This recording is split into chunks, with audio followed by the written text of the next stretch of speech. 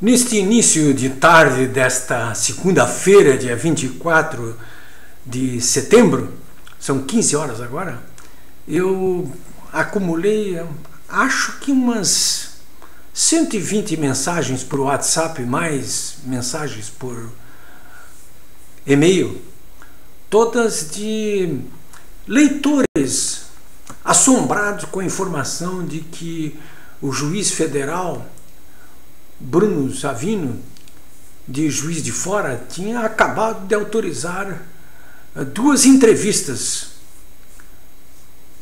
que seriam concedidas pelo agressor de Bolsonaro, o Adélio de Oliveira, nesta semana.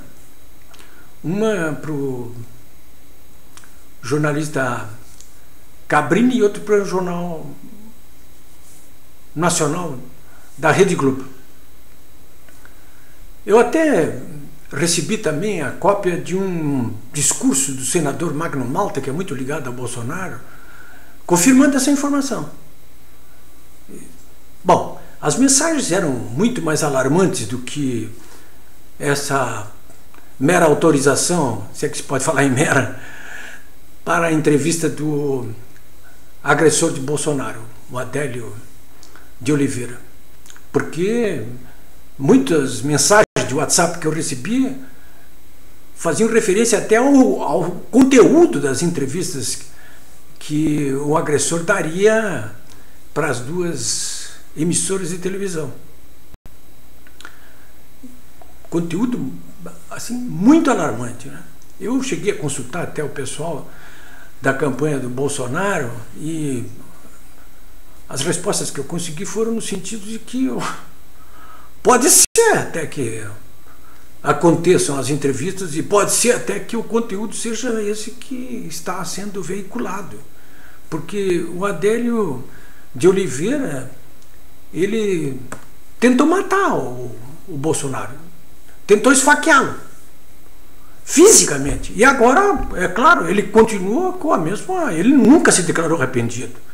Vocês sabem que ele já falou para a Polícia Federal, já falou para o juiz federal e até agora, em momento nenhum, ele disse: Oh, estou arrependido, fez algum tipo de autocrítica.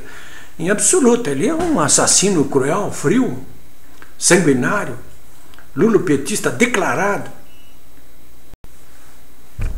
Tem aqueles olhos vidrados de gerente de banco, né? não, não trai emoção de espécie nenhuma diante de ninguém. Mas enfim, eu, eu, claro, saí imediatamente atrás das informações, tentei conseguir o telefone da Justiça Federal do juiz de fora para tirar limpa essa informação. Fui no Google, como vocês todos vão, foram para ver se isso aí tem algum fundamento. Não encontrei nada no Google, muito pouca coisa.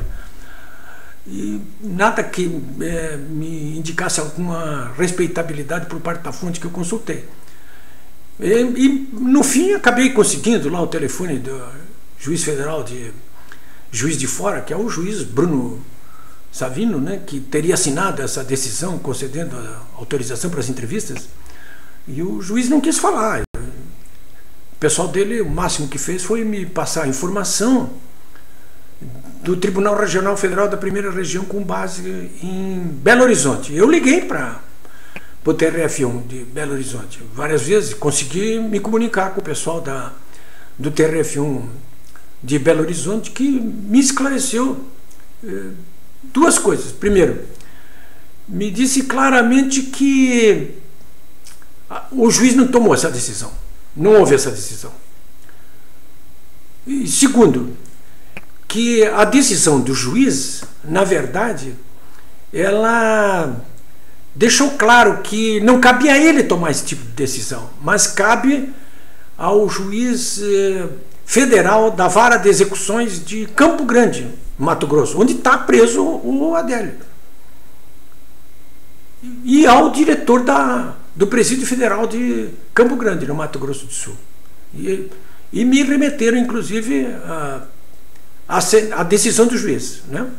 Eu li a decisão do juiz, é, é, cinco, seis parágrafos, né? Mas ali existem algumas informações, eu diria assim, no mínimo inquietantes, né? A primeira delas é de que a primeira delas é de que os advogados do Adélio pediram é, autorização ao juiz para que ele concedesse é, licença para o Adélio dar entrevistas. Eu, bom, até aí alguém vai me dizer, claro, quem é que iria pedir, a não ser os advogados, né? Bom, mas foram os advogados que pediram. Né? Os advogados que pediram. Ora, se os advogados pediram, é porque o Adélio quer falar. Né?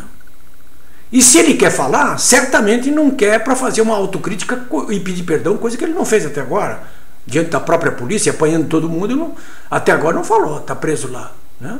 Então, ele quer dar uma segunda facada no Jair Bolsonaro. Isso me parece assim muito evidente. Né? E a segunda questão é a seguinte: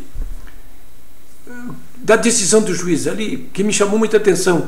Ele disse que o Ministério Público Federal ah, concordou com o pedido de entrevista. Ora, como, cara pálida? O Ministério Público Federal, inclusive, é tratado como a outra parte pelo juiz federal.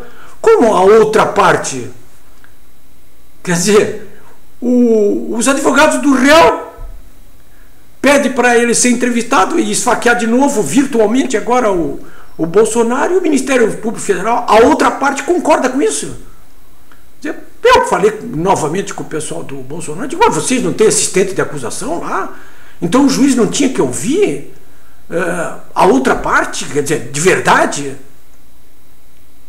É, o juiz nem ignora isso aí, nem fala nisso aí. Né? Bom, senhores, tem coisas muito curiosas aí, né? tem mais do que avião de carreira no ar. Acrescente-se a tudo isso aí essa, esse vazamento do, do inquérito realizado pela Polícia Federal que diz que o Adélio é, foi um lobo solitário. lobo solitário sou eu. É isso aí.